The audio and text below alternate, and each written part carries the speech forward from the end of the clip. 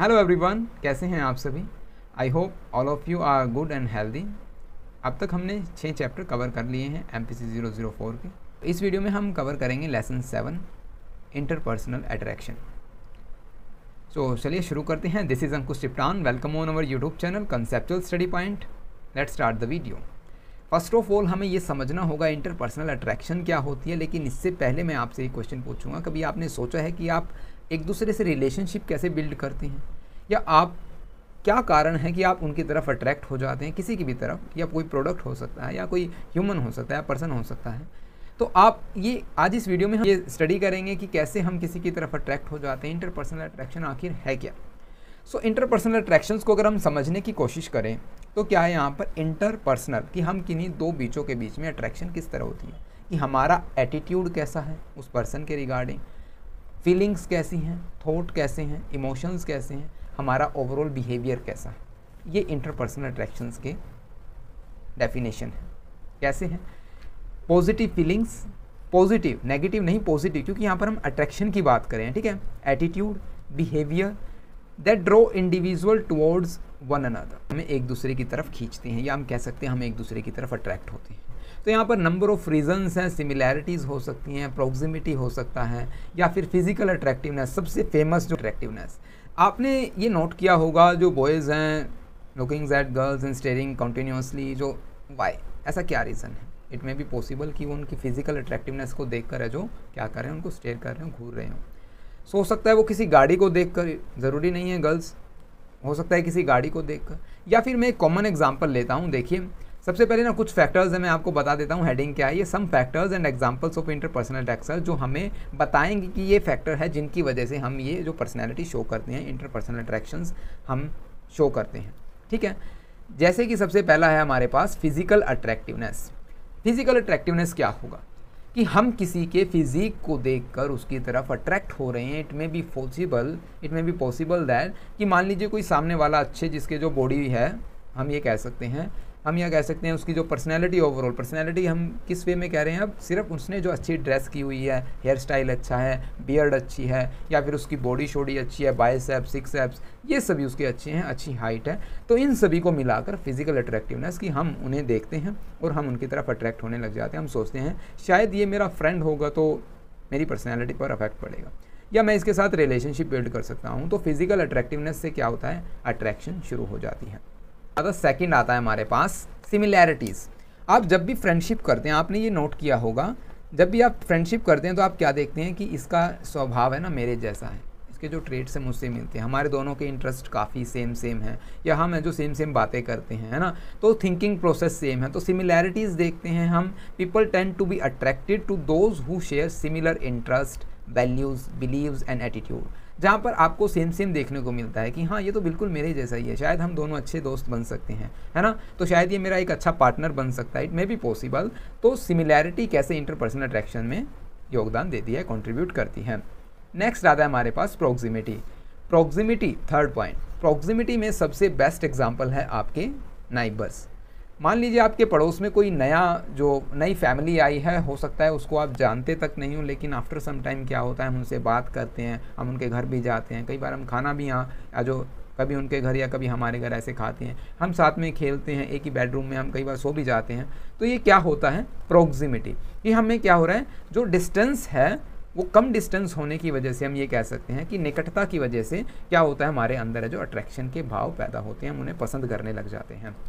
हमारा एटीट्यूड हमारी थिंकिंग उनके, उनको जो लेकर है, जो चेंज होने लग जाती है धीरे धीरे ठीक है? तो प्रोक्सिमिटी कैसे इंटरपर्सनल जो इंटरपर्सनल अट्रैक्शन में कंट्रीब्यूट करती है? देखा। नेक्स्ट आता है हमारे पास फोर्थ कॉम्प्लीमेंट्री अब ये कॉम्प्लीमेंट्री क्या होता है?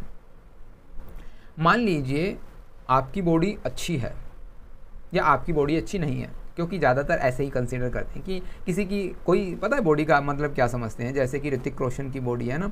अच्छे सिक्स पैक्स हैं कट जो कटिंग दिखती है उनके शरीर पे biceps chest everything is set है ना? सब कुछ अच्छा अच्छा मतलब देखने में क्या लगता है? अफेक्टिव लगता है कि हाँ यार, काफ़ी इफ़ेक्टिव बॉडी है। हमें उनको देख कर ये लगता है, काश मेरी भी ऐसी बॉडी होती। तो वहाँ पर क्या होता है? हम कई बार अपने जो पार्टनर्स हमारे जो फ्रेंड्स हैं, जो इस तरह चूज़ करते हैं कि वो हमारे कॉम्प्लीमेंट्री बने, है ना? कॉम्प्लीमेंट्री मीन्स वो जैसे जो चीज़ हमें कमी है ना, वो सामने वाले में हो। आप गरीब हैं तो हो सकता है आपकी सोच ये हो कि मेरा फ्रेंड है जो वो शायद अमीर हो। शायद आप जो हाइट में आप छोटे हैं तो हो सकता है आप ये सोचें कि मेरे फ्रेंड लंबे लंबे होने चाहिए। आप इंट्रोवर्ट हो सकता है आपके फ्रेंड आप ये सोचें कि एक्सट्रोवर्ट ताकि हम जो एक दूसरे की कमियों को पूरा करते रहें। तो कॉम्प्लीमेंट्री इस तरह जो इंटरपर्सनल अट्रैक्शन में कॉन्ट्रीब्यूट करती है। फिफ्थ पॉइंट आता है हमारे पास reciprocity reciprocity means cost and benefit वही, है ना? यहाँ पर क्या होता है कि मान लीजिए आप कहीं पर इंटरेस्ट दिखाते हैं। If you when someone shows interest और अफेक्शंस हो सकता है वहाँ पर है जो क्या हो, आपकी जो एक रिलेशनशिप बिल्ड हो जाए। धीरे धीरे ऐसा नहीं है कि एकदम ही हो जाएगा। If one person express romantic interest in another and that interest is reciprocated a romantic relationship में भी डेवलप तो रेसिप्रोसिटी इस तरह जो काज एंड बेनिफिट भी है, जो कोस्ट एंड बेनिफिट भी कि मान लीजिए हम ये सोचते हैं कि हम यहाँ पर इतना टाइम इन्वेस्ट कर दें शायद ये मेरे लिए बेनिफिशियल हो। तो तो भी हम है जो किसी की तरफ़ इंटरेस्ट जो अट्रैक्ट हो जाते हैं, जब हमें ये दिखता है कि यहाँ पर मेरा बेनिफिट ज़्यादा है है ना कॉस्ट के कंपैरिजन तो हम वहाँ पर अट्रैक्ट होना शुरू हो जाते हैं। सिक्स पॉइंट आता है हमारे पास फेमिलैरिटी फेमिलैरिटी का मीन्स क्या होगा यहाँ पर? कि हम मान लीजिए आपको कोई एक प्रोडक्ट पसंद नहीं है, हम प्रोडक्ट से लेकर चलेंगे, या फिर आपको कोई आपके क्लासमेट है जो कि काफ़ी इंटेलिजेंट और आपको पसंद नहीं है, लेकिन धीरे धीरे धीरे आपने कई मूवीज़ में ऐसा देखा होगा कि जो दो अपोजिट पार्टी हैं, वो बार बार एक दूसरे से फेमिलियर होते हैं एक्टर एंड एक्ट्रेस लेकिन इतने फेमिलियर हो जाते हैं बार बार मल्टीपल एक्सपोजर से वो क्या होता है, वो एक दूसरे को पसंद करने लग जाते हैं और आखिर में उनका बैचअप हो जाता है। तो वो वहाँ पर कौन सा आप कह सकते हैं फेमिलैरिटी जो फैक्टर है, वो इंटरपर्सनल अट्रैक्शन में कंट्रीब्यूट कर रहा है, जो कि एक थियरी है मेयर एक्सपोजर इफ़ेक्ट कि आप एक चीज़ से बार बार बार बार आप जब मिल रहे हैं तो आपके अंदर उसके जो, उस चीज़ के रिगार्डिंग उस पर्सन के रिगार्डिंग क्या होता है अट्रैक्शन पैदा होती है। इसका और भी एक बेस्ट एग्ज़ाम्पल है। आपको एडवर्टाइजमेंट आपने देखी होगी यूट्यूब पर मोबाइल फ़ोन में टीवीज़ पर। तो आप क्या करते हैं? फ्लैक्सेस पर जो सिटीज़ में जो फ्लैक्स लगे होते हैं बड़े बड़े बोर्डिंग और पम्पलेट्स उसमें क्या होता है? उसमें एक ही प्रोडक्ट को बार बार बार बार शो होता है और हम कई बार है जो देखने पर एडवर्टाइजमेंट देखने पर क्या होता है, उस प्रोडक्ट के प्रति हमारा एटीट्यूड चेंज हो जाता है, हम उसे प्रोडक्ट को पसंद करने लग जाते हैं। या फिर कभी हमें ज़रूरत पड़े कि मान लीजिए हापिक की बात करें तो आप तुरंत ये कहेंगे कि हाँ हमारी टॉयलेट ना गंदी रहती है तो शायद हमें हापिक यूज़ करना चाहिए। तो वहाँ पर क्या हो रहा है, उस हापिक के प्रति आपके जो थिंकिंग वो चेंज हो रही है। तो फैमिलियरिटी काफ़ी इंपॉर्टेंट फैक्टर है। सेवन्थ आता है शेयर्ड एक्सपीरियंस आप में से काफ़ियों के ऐसे फ्रेंड होंगे कि जिनके साथ आप अपनी सारी की सारी बातें शेयर करते हैं। या फिर, मान लीजिए आपको किसी कॉलेज में एक प्रोजेक्ट दे दिया जाता है और प्रोजेक्ट में आपके दो या तीन फ्रेंड ऐसे शामिल हैं जिनसे आपने कभी बात की नहीं मतलब क्लासमेट है फ्रेंड्स नहीं। तो क्लासमेट हैं तो धीरे धीरे आप क्या करते हैं प्रोजेक्ट्स के रिगार्डिंग इन्फॉर्मेशन शेयर करते हैं धीरे धीरे अपनी फैमिली से। तो आप क्या कर रहे हैं, वहाँ पर एक्सपीरियंस को शेयर कर रहे हैं अकम्पलिशमेंट के लिए।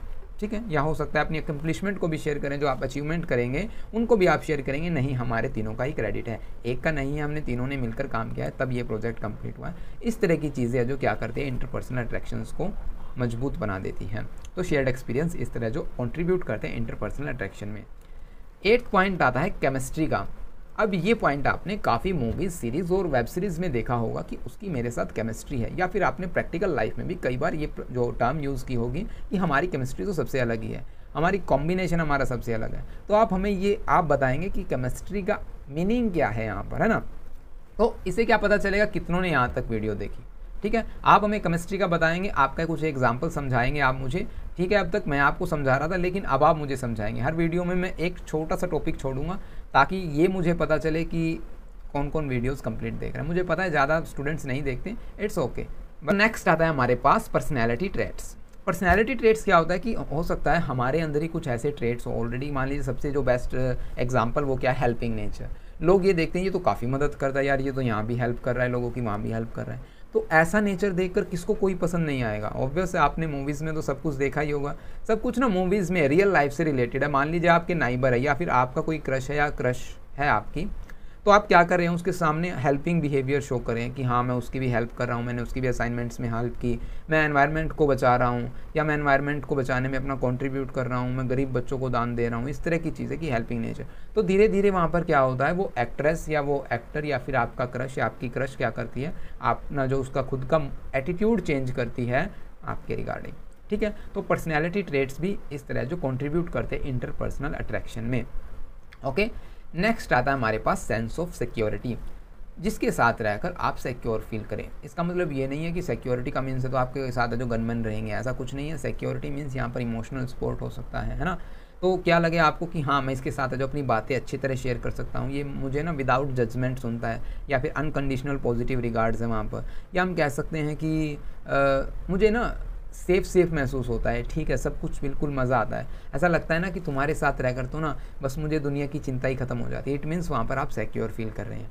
तो सेंस ऑफ़ सिक्योरिटी से भी आप क्या करते हैं कि आप जो interpersonal attraction sense of security है जो इसमें कॉन्ट्रीब्यूट करता है। सो so, ये थे कुछ factors interpersonal attractions I hope आपको कवर हो गए होंगे ये आपको समझ आ गए होंगे। फिर भी कोई डाउट रह जाता है तो आप हमें कमेंट कर सकते हैं। नेक्स्ट जो आता है आपको एग्ज़ाम में इंपॉर्टेंट क्वेश्चन है, वो है Heider balance theory Fritz Heider ने ये थियरी दी थी। मैं आपको समझाने की कोशिश कर रहा हूँ। फ्रिड्स हेडर ने ये बैलेंस थियरी दी थी। क्यों? बैलेंस थियरी इसका नाम रखा गया। इसका एग्ज़ाम्पल लेंगे हम एक आपके सेलिब्रिटी आइडियल रोल जो भी आपके मॉडल हैं उनसे। ठीक है? इस थियरी का जो मेन पर्पज़ क्या है कि आप, जब भी आपकी लाइफ में क्या होता है, एक पर्सन जो सेल्फ होता है एक अदर पर्सन और एक थर्ड पर्सन आप थर्ड पर्सन कह सकते हैं या फिर कोई ऑब्जेक्ट कह सकते हैं। इस थियरी में जो एक्स है, वो ऑब्जेक्ट है टॉपिक है इशू है। कुछ भी आप कंसीडर कर सकते हैं इसको। ठीक है? ये थर्ड पर्सन क्या कहते हैं? जब भी हमारी लाइफ में कॉग्नेटिव डिसोनेंस होता है, या हम ये कह सकते हैं, हमारा एटीट्यूड हमारे बिहेवियर से, हमारे एक्शन से अलग हो, तब हमें कॉग्नेटिव डिसोनेंस हम ये कह सकते हैं कॉन्फ्लिक्ट्स महसूस होते हैं कि कुछ ना कुछ तो अच्छा नहीं लग रहा। तो उस अनबैलेंस या इम्बैलेंस कंडीशन को बैलेंस करने के लिए हम एक फिनोमिना अपनाते हैं। उस फिनोमिना को हैडर बैलेंस थियरी कहते हैं। कि हमें लाइफ में क्या चाहिए? बैलेंस चाहिए। कैसे चाहिए? वो हम कोशिश करेंगे। हम कोशिश करते हैं कि हम साइकोलॉजिकल बैलेंस को क्रिएट कर पाएँ। ठीक है? तो Heider balance theory is a psychological concept that explore dynamics of interpersonal relationships and cognitive processes individual maintain sense of balance and consistency in social interactions जब भी हम सोसाइटी में इंटरेक्ट करते हैं या रिलेशनशिप बनाते हैं तो वहाँ पर कॉग्नेटिव प्रोसेस के दौरान क्या होता है? इम्बैलेंस या फिर कई बार हमें कॉग्नेटिव डिसोनेंस महसूस होता है, या हम कह सकते हैं कॉन्फ्लिक्ट्स महसूस होते हैं उन कॉन्फ्लिक्ट्स को बैलेंस करने के। ये थियरी एक्सप्लेन करेगी, हम कैसे उन चीज़ों को बैलेंस करते हैं सोशल इंट्रैक्शंस को कैसे बैलेंस करते हैं, ठीक है? तो इसका, इसको ना समझने का एक ही उपाय है कि हम एक एग्ज़ाम्पल लें और फिर आपको समझाएँ। यहाँ पर मैं पहले बता देता हूँ, तीन टर्म्स आपको सुनने को मिलेंगी। पी जिसको हम पर्सन कहेंगे ओ अदर पर्सन और ए ए यूनिट एक्स ठीक है? एग्ज़ाम्पल कैसे लेंगे? मान लीजिए आप किसे पसंद करते हैं? ये बताइए पहले तो आप। चलिए सेलिब्रिटी एंडोसमेंट का ही एग्ज़ाम्पल लेते हैं। या फिर आपके फ्रेंड का एग्ज़ाम्पल लेते हैं। पी हो जाते हैं सेल्फ आप खुद।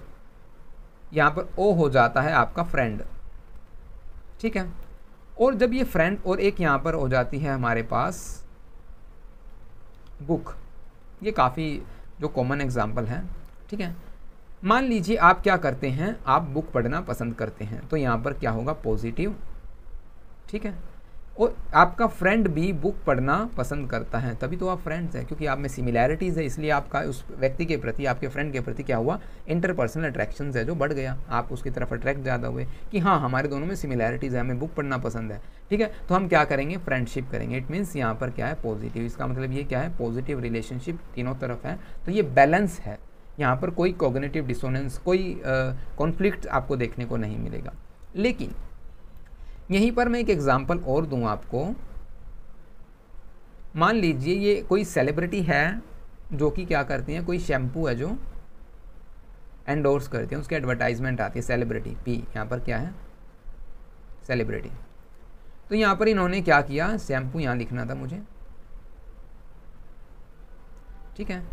या फिर हाँ ठीक है हेयर प्रोडक्ट कोई भी आप यूज़ कर सकते हैं। तो यहाँ पर सेलिब्रिटी है और यहाँ पर कौन है? आप हैं सेल्फ तो यहाँ पर क्या हो रहा है? सेलिब्रिटी यहाँ पर देखना कंडीशन आप समझने की कोशिश करना, अगर आप सेलिब्रिटी को पसंद करते हैं मे बी इफ़ यहाँ पर पॉजिटिव रिलेशनशिप है, आप सेलिब्रिटी को पसंद करते हैं, और सेलिब्रिटी ने क्या किया? शैम्पू की एडवर्टाइजमेंट की, इसको एंडोर्स किया तो सेलिब्रिटी और शैम्पू के बीच में भी पॉजिटिव रिलेशनशिप है। तो अब यहाँ पर देखिए, दोनों के बीच में पॉजिटिव रिलेशनशिप है। अगर आपको ये शैम्पू बिल्कुल पसंद नहीं है, मान लीजिए, एक केस ये है तो यहाँ पर क्या होगा? कॉग्नेटिव डिसोनेंस आ गया कॉन्फ्लिक्ट होगा कि ये सेलिब्रिटी क्यों इसको एंडोर्स कर रही है? तो यहाँ पर क्या चांस है? आप इस सेलिब्रिटी को क्या करेंगे? नापसंद करना शुरू कर देंगे। ठीक है? पॉसिबिलिटीज या फिर या फिर दूसरी पॉसिबिलिटी क्या है? आप क्या करेंगे? शैम्पू को भी पसंद करना शुरू कर देंगे कि हाँ मेरे जो आइडियल हैं, मेरा सेलिब्रिटीज़ हैं, वो क्या करता है? ये शैम्पू यूज़ करता है। क्यों ना मैं भी इसको यूज़ करूँ। है ना? वो कहता है टीवी पे, मेरे हेयर फॉल्स के लिए या स्मूथ एंड शाइनिंग के लिए आप ये शैम्पू यूज़ करें। तो अगर आप सेलिब्रिटी को पसंद करते हैं तो इट मे बी पॉसिबल आप शैम्पू को भी पसंद करें, जिसको आप कभी जानते तक नहीं थे। तो यहाँ पर क्या हो जाएगा? बैलेंस है ना? अगर यहाँ पर नेगेटिव हो जाता है तो यहाँ पर ये कंडीशन किसकी होगी? इम्बैलेंस की। ठीक है? आई होप आपको यहाँ पर कवर और समझ में आ रहा होगा मैं क्या कह रहा हूँ। एक और एग्ज़ाम्पल लेते हैं, चलिए इसका। ये आपका फ्रेंड है। ये आप हैं, ये आपका फ्रेंड है और यहाँ पर वही हमारी बुक अब ये भी पॉसिबल है कि आपको क्या हो? ये आप फ्रेंड हैं, ये तो कंडीशन हमने पहले ही लगा दी। लेकिन आपके इस फ्रेंड को बुक पढ़ना पसंद है। यहाँ पर पॉजिटिव रिलेशनशिप और आपको बुक पढ़ना बिल्कुल भी पसंद नहीं है। इट मे बी पॉसिबल ऐसा ज़रूरी नहीं है कि दोनों को ही बुक पढ़ना पसंद हो। तो ये तो इम्बैलेंस हो गया ना इम्बैलेंस हो गया। अब ये घूमती भी रहेंगी, ज़रूरी नहीं है कि जो मैंने अभी स्ट्रक्चर बनाई है, बस वही एक पर्टिकुलर स्ट्रक्चर है। इनको हम चेंज कर सकते हैं इंटरचेंजेबल ठीक है? कंडीशन बदल जाएगी एग्जाम्पल्स बदल जाएँगे, ठीक है? तो यहाँ पर हो सकता है कि आपको ये फ्रेंड सॉरी बुक पढ़ना आपको पसंद नहीं है आपके फ्रेंड को, और आपको बुक पढ़ना काफ़ी पसंद है। तो यहाँ पर हम कोगनेट यहाँ पर क्या हो रहा है? अभी हमें कॉन्फ्लिक्ट हो रहा है।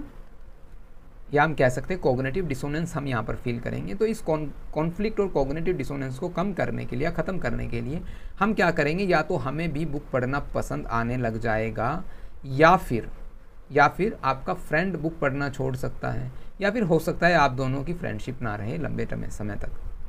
तो इट मे बी पॉसिबल तो हेडर बैलेंस यही कहती है थियरी कि जो हमारी डायनेमिक इंटरपर्सनल रिलेशनशिप और कोग्नेटिव प्रोसेस है वो क्या करती है? बैलेंस का यूज़ करती है सेंस ऑफ़ बैलेंस और कंसिस्टेंसी सोशल इंट्रैक्शंस में। हम कहीं भी इंट्रैक्ट कर रहे हैं, वहाँ हमें बैलेंस ज़रूरी है। अगर हम कॉन्फ्लिक्ट्स महसूस करेंगे तो हम क्या करेंगे? हमारे एटीट्यूड को बदल सकते हैं, उस एनवायरनमेंट को बदल सकते हैं। इट में भी पॉसिबल कि हम सिचुएशन को ही बदल दें, है ना? तो हेडर बैलेंस थ्योरी आपको समझ आ गई होगी कि सारा खेल बैलेंस का है। तो यहाँ पर पॉजिटिव रिलेशनशिप है नेगेटिव रिलेशनशिप है बैलेंस ट्राइड्स के बारे में बताया। ये आप अपने आप पढ़िएगा, एक एग्ज़ाम्पल है यहाँ पर, वो आपको आसानी से समझ आ जाएगा। अगर फिर भी ना समझ आए तो आप हमें कॉमेंट ज़रूर कीजिएगा। अब हम करेंगे यहाँ पर सोशल एक्सचेंज थियरी क्योंकि दोनों ही थियरीज है जो एग्ज़ाम के पॉइंट ऑफ़ व्यू से काफ़ी इंपॉर्टेंट रहती हैं। क्या करते हैं? जब भी हम कोई अपनी रिलेशनशिप बिल्ड करते हैं या हम कोई इंटरपर्सनल अट्रैक्शन शुरू करते हैं तो हम उससे पहले जैसे कि हमने बताया रेसिप्रोसिटी का कॉन्सेप्ट हमने समझा। इसमें भी समझा, पिछली वीडियोज़ में भी काफ़ी बार कर चुके हैं। तो वहाँ पर हम क्या करते हैं? हमारे रिवॉर्ड्स को मेज़र करते हैं इवेलुएट करते हैं और हमारे कॉस्ट को इवेल्युएट करते हैं कि हमारी किसी रिलेशनशिप में कितनी कॉस्ट कितना हम इन्वेस्ट कर रहे हैं और कितना हमें आउटपुट मिल रहा है। हम ये कह सकते हैं कि हम क्या करेंगे? अपने बेनिफिट्स को ज़्यादा इंपॉर्टेंस देंगे। This theory suggest that people are rational actors who aim to maximise their own self interest and wellbeing in social interaction में अपने खुद का सेल्फ इंटरेस्ट या बेनिफिट्स वो ज़्यादा देखते हैं और एज कंपेरिजन टू जो कॉस्ट वो वहाँ पर इन्वेस्ट करते हैं, है ना? तो यहाँ पर कॉस्ट अलग अलग हो सकती हैं बेनिफिट्स अलग अलग हो सकते हैं। हो सकता है बेनिफिट्स में आपको इमोशनल सपोर्ट मिल रहा हो या फिनेंशियल सपोर्ट मिल रहा हो ठीक है, हो सकता है आप सिक्योरिटी फील कर रहे हो, इस तरह के बेनिफिट्स है जो हो सकते हैं और कॉस्ट में आपके पास टाइम हो सकता है मनी हो सकता है।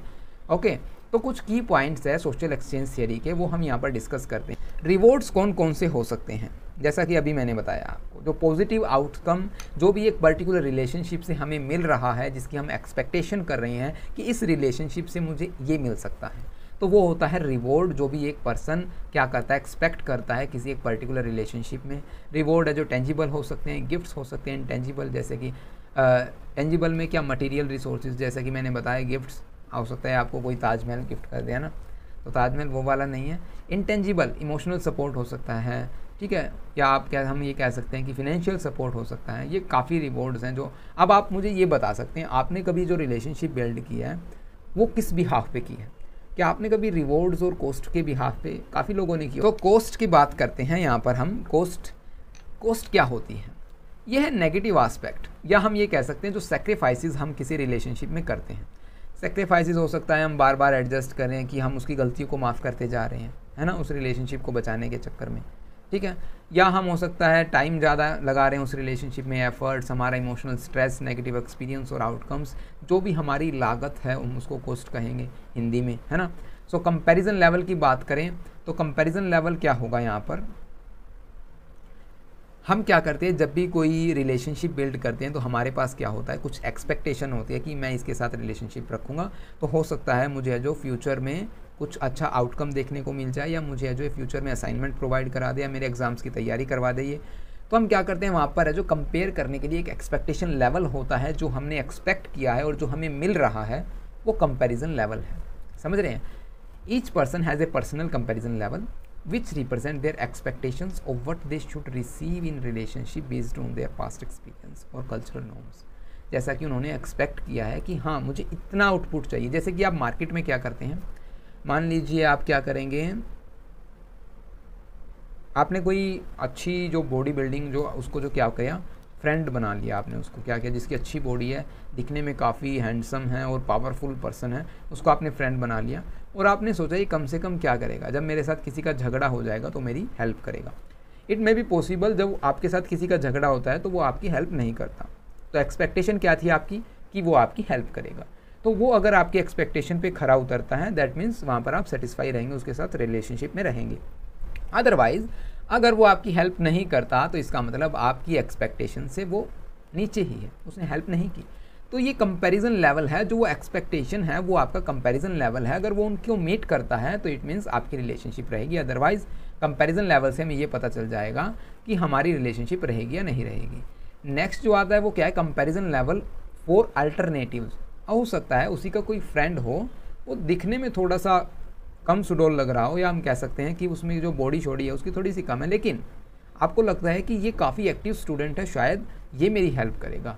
ये बॉडी बिल्डर तो कर नहीं रहा, शायद उसका फ्रेंड करेगा। तो आपके पास एक अल्टरनेटिव है तो आप वहाँ पर स्विच हो सकते हैं कि नहीं, इसको छोड़ो, इसके साथ फ्रेंडशिप करेंगे। तो ये कंपैरिजन लेवल फॉर अल्टरनेटिव है, समझ रहे हैं? आउटकम की क्या बात है, जहाँ पर हम क्या करें, हमारे रिवॉर्ड में से कॉस्ट को माइनस कर दे, हमारे के पास कितना आउटपुट मिलता है, वो हमारी आउटकम है, बिल्कुल सिंपल, ठीक है? ये थी हमारी social exchange theory Heider balance theory Fritz Heider ने दी थी हमारे कॉग्नेटिव डिसोनेंस या हमारी लाइफ में बैलेंस के लिए हम इसको यूज़ करते हैं। ठीक है? और interpersonal attractions factor of interpersonal attractions I hope आपको कंटेंट क्लियर हो गया होगा टॉपिक्स क्लियर हो गए होंगे, लेकिन फिर भी अगर कोई डाउट रह जाता है तो आप हमसे कमेंट करके पूछ सकते हैं, हम आपको जो आंसर ज़रूर करेंगे। नोट्स की बात करूँ तो नोट्स आपको नाइन रुपीज़ है जो पर पीडीएफ पे करना होगा। इसके लिए आप हमसे व्हाट्सएप पर और हमारी ईमेल आईडी पर हमसे कांटेक्ट कर सकते हैं। टेलीग्राम चैनल यूट्यूब चैनल पर आप हमें सब्सक्राइब कर सकते हैं for further updates and information so इस वीडियो में इतना ही। मिलते हैं नेक्स्ट वीडियो में। Thanks for watching this video have a nice day